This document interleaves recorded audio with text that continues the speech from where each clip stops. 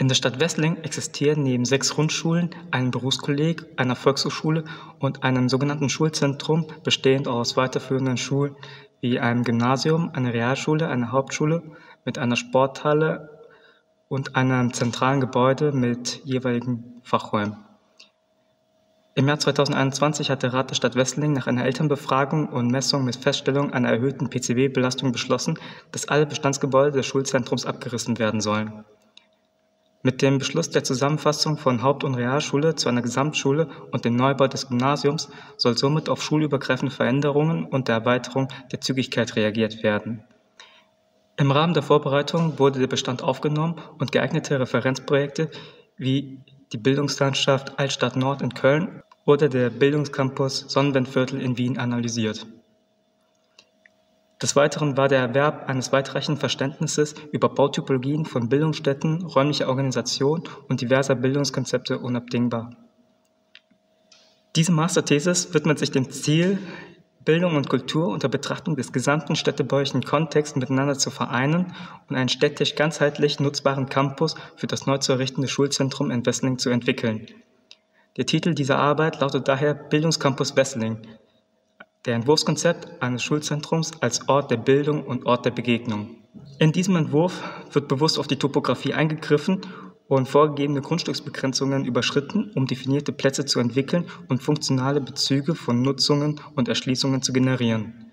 Mit der Bildung eines gemeinsamen Platzes und dem Neubau einer öffentlichen Veranstaltungs- und Mehrzweckhalle unter der ursprünglichen Böschung der, Bahnhalt, der Bahnlinie 16 können somit der nördliche Bereich und der südliche Bereich von diesem neuen Campus miteinander vernetzt werden, ohne durch die vorhandenen Bahngleise separiert zu werden.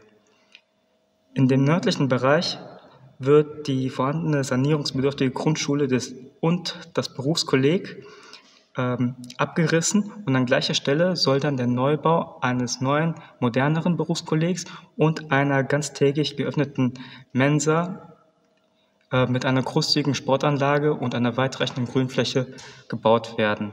Im südlichen Bereich sammeln sich die neuen Schulgebäude, bestehend aus einem dreizügigen Gymnasium, einer vierzügigen Gesamtschule und einer zweizügigen Grundschule, nach einer Platzfolge um ein gemeinsames, nutzbares Bibliotheks- und Selbstlernzentrum.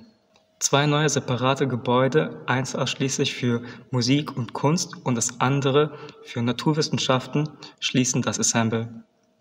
Die Gebäude der jeweiligen Schulen sind als individuelle Baukörper konzipiert, welche geschossweise Raum in einer offenen Lernlandschaft für jeweils einen vollen Jahrgang bieten sollen.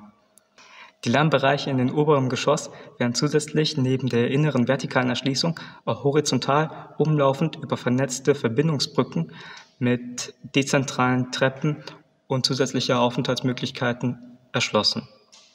Zusammenfassend lässt sich dieser Entwurf im Hinblick auf die Zielsetzung wie folgt beschreiben. Die individuellen Baukörper schließen sich als vernetzte Schule in einer teilintegrierten Organisation zusammen und sorgen dafür, dass das Schulzentrum als Bildungscampus ganzheitlich und vielfältig nutzbar wird und sowohl im pädagogischen als auch im städtebaulichen Sinn zum Teil der Kommune wird. Hier entsteht ein Ort der Bildung und ein Ort der Begegnung.